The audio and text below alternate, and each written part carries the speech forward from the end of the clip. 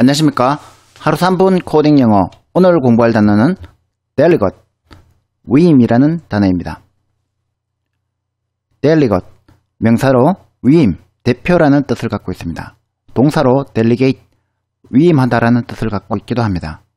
또는 명사로 delegation이라고도 합니다. delegate, delegate, delegation, delegation, In object-oriented programming, delegation refers to evaluating a member of one object in the context of another original object. delegation은 OOP에서 delegate에게 delegate가 어떤 일을 떠넘기는 것을 의미합니다. 예를 들어서 delegate가 greeting이라는 인터페이스로서 say라는 메소드를 갖고 있다고 하겠습니다. 그러면 delegate는 class delegate라고 해서 greeting이라는 멤버 변수를 정의할 수가 있습니다. 자, 이럴 때 이클립스에서 delegation을 해보도록 하겠습니다. 이클립스에서 이렇게 그리팅이라는 멤버 변수가 있으면 이 Greeting에서 우- 마우스 우클릭을 해보시면 소스에 generate delegate method라는 게 나옵니다.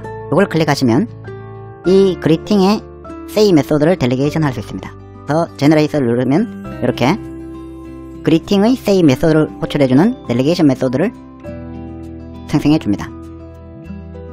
자, 이렇게 Greeting이라는 멤버 변수의 say method를 호출하는 이 say라는 delegation method를 delegate에서 정의해봤습니다.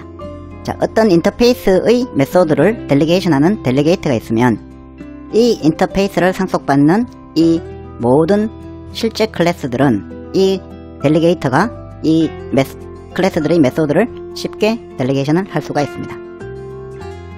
예를 들어서 Greeting을 상속받는 Puppy Greeting, 강아지가 인사하는 거, Person Greeting, 사람이 인사하는 거를 구현해 보도록 하겠습니다.